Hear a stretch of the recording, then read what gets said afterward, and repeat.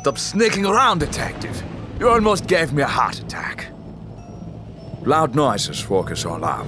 The house was shaking. Everything was locked except for the forbidden doors.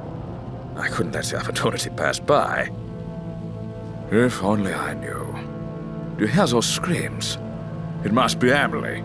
She went to find Jacob's medical mumbo-jumbo. She must have found something dangerous. Now go. I've got a better chance of getting out of here alive if I work alone.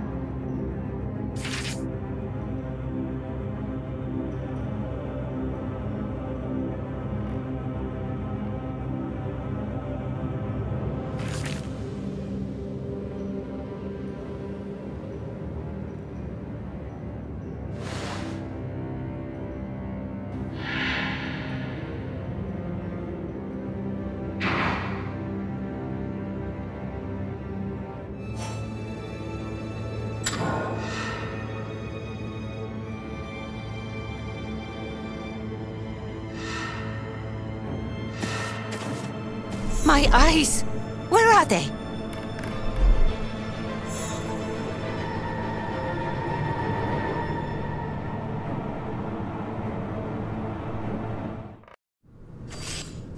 Who, who's there? Don't hurt me anymore, please. Detective, is that you? Look what they've done to me. They're insane. Harold held me, and Meredith telling me I wasn't worthy of learning Jacob's secrets. That witch said, age can't touch you. You'll always be a red-headed doll with a hairpin. I'll never forget her words.